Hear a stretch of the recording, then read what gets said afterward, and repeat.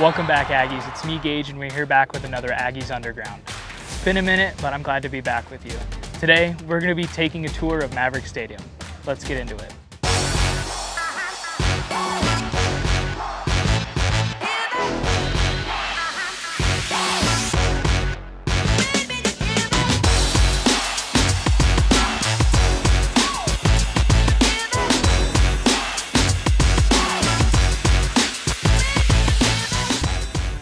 1892, football has played an important component in Aggie life. A makeshift field on the quad served as the humble beginning until 1913 when games were played on Adams Field, west of Old Main. After the team saw considerable success in the 1920s, under legendary coach Lowell Dick Romney, a new stadium was built in 1927 where the Arc and HPER buildings now stand. This stadium earned the name Romney Stadium in 1954 after its most successful head coach. Games were played there until 1967 when the field was relocated further north to the stadium's current home. In 2009, the actual football field was named after Aggie football legend Merlin Olsen. The stadium underwent further renovation in 2015 when it became known as Maverik Stadium. Now that we've taken a little bit of a look at the history, let's go inside. We've had a lot of successful student athletes here at Utah State. Three consensus All-Americans, Merlin Olsen and his brother Phil, and Savon Scarver. We've had nine Super Bowl champs, 12 Pro Bowlers, and 17 Aggies drafted in the NFL. The players change, the grass changes, even the logos have changed, and we've had some pretty sweet logos. But the fans and the traditions never change. Speaking of logos, let's head to the equipment room and meet Michael so we can start preparing for game day.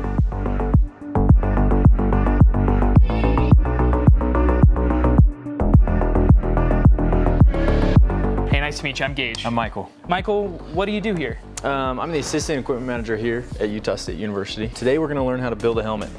Sweet. I'm excited. How much are these? Uh, I'm five to eight hundred dollars. What? There's no way. Yeah. And how long is it taking us to fully put together a helmet? Anywhere from five to ten minutes. What's our first step? Okay, so we're gonna put the face mask on. Okay. Um, I'm gonna do one side. Okay. And and I'll show you. So I like to keep my palm on there. Put the little guy in. Press in on that dot. It'll hold right there. Mm -hmm. And then you just press, and you hear that little click, and it's in. All right, other side, here we go. All right, other side, okay, so. Take this. Take the pin, push it in. Okay, there's the first one. Take this, like that. Press down, oh, oh. press a little bit harder. You aren't gonna break it. And then press more yep, again? press more. Bang. Sweet. After that, we go to the decal. Yes. Decal itself. I don't know how good I'm gonna do this. That's okay.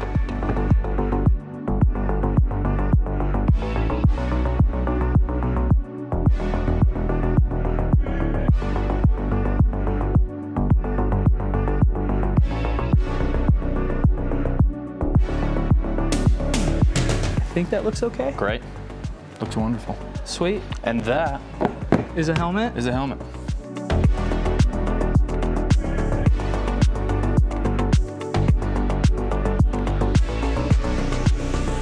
So I'm like 5'8", 5'9", always kind of been smaller. They are like Greek gods.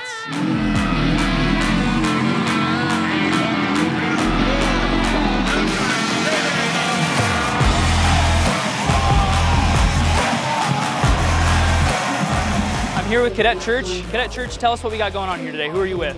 So I'm with the Army ROTC program here at Utah State. Um, we do the cannon right back here. You can see it in the background, uh, just for the football games and other events. Sweet. How long has the ROTC program been here on campus? So we've actually been on campus since 1916. Uh, that's when the program was started. We've been doing the cannon as well for over a decade. Sweet. Well, I think my only question I have left is, uh, will you let me shoot the cannon? You know, I think we can make that happen. Fire. Yeah! I got to fire the flames. I got to fire the cannon. Let's go see what else I can do.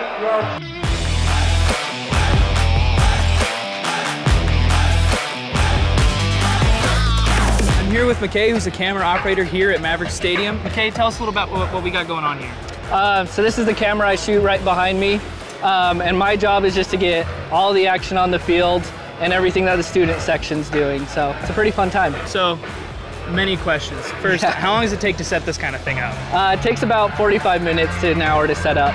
And is it just one person working on one No, camera? we usually have like two or three people help set it up, and then one person will just man the camera from there on. And how much are we looking cost-wise per camera? If I was to take a guess, I'd say over a hundred thousand dollars. I think that lens probably over about sixty thousand alone. Yeah. Mind if I take a look? Yeah, let's go for it. So if you go ahead and zoom into something, you can see that focus will change pretty quickly. That's Yeah. so cool. Yeah. This is insane.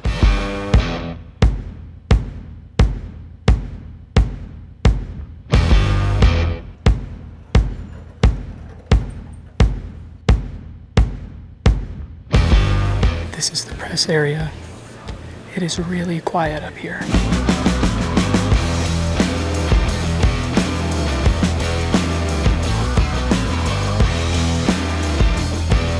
Hey Bobby, nice to meet you. I'm Katie. Good to meet you. Dill. Welcome. Yeah, sweet. So, what's the story with this room? Yeah, so this room right here is where kind of all the magic of Maverik Stadium happens. So we've got of our video board coordination up here with Tyler. We're running some social media stuff here. Um, down low, Sophia kind of calls the game. So everything that happens besides actually football. So all of the videos, all of the music, all the on-field promotions, all that fun stuff that happens, she's coordinating. So she also serves as our DJ and then our PA announcers down here as well. Um, so anything that's really fan-facing that fans are hearing, listening to, watching, all the fun stuff, that's what we're coordinating from up here. So, I noticed back here we have some frosted glass. What's going on in this room? Yeah, that's the Mountain West replay booth. Um, so that's where they review all the plays. Um, so those are the officials in the booth. Um, they can watch every play over and over again. Of course, in venue we can only show the play one time um, for fans to see, but for them, they review everything, uh, make sure we followed all the rules, and, and everything's good. And that one replay rule is to protect the refs and make sure that nobody gets too upset. Yep, that's it. Makes sense. Correct. Alrighty. Well, I think that's everything. We got some more stuff to see, so thank you so much. Yeah, you're welcome. Take care. There are a lot of moving parts to the game day experience. Over 4,000 sodas, 1,300 hot dogs, and 500 pretzels are served each game. There's countless hours practiced by the band, the Spirit Squad, and everyone's favorite, Big Blue. And then there's you, the true blooded Aggies, intimidating the opponents and cheering on our home team.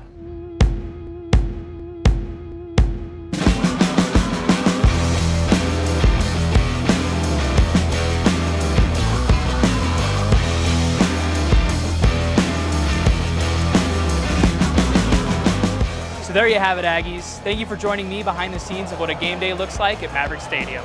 Be sure to come out and support the home team, and go Aggies.